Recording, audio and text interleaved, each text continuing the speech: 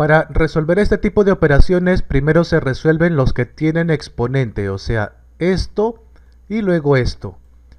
Esto significa que esta base 3 vamos a multiplicarlo por sí mismo tres veces. El exponente siempre te dice cuántas veces multiplicar lo que está abajo, o sea, la base, así.